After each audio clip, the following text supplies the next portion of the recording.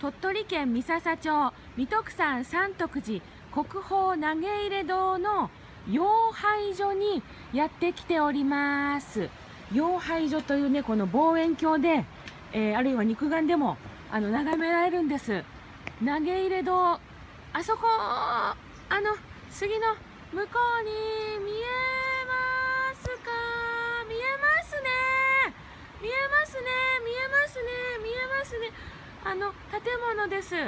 704年になんと1300年前に縁の行者さんが投げ入れたというねポーンとこの崖の隙間に投げ入れたということから、えー、投げ入れ堂とついた、えー、三仏寺の奥の院さんですよ。わー建物ね日和田吹きの、えー、建築だそうです。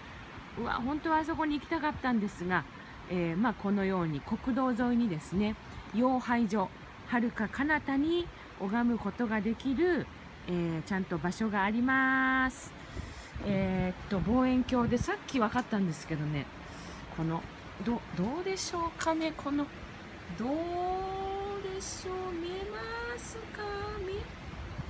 見え見えますか？建物が。おお建物がさっき見えますか？見えない。見えない。さっき分かったんですけどあれですあれです。あれです。投げ入れ堂。うわ行きたかったね。行きたかったけどまた行きますね。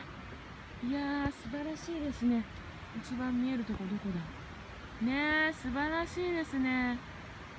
ね。まあもちろんあの建物までは行けないんです。その手前もところまでだそうです。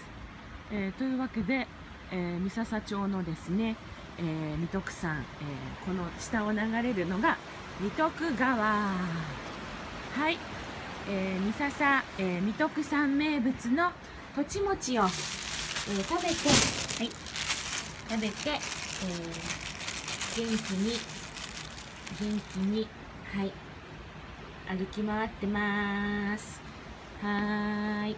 もちもち食べましょうかね。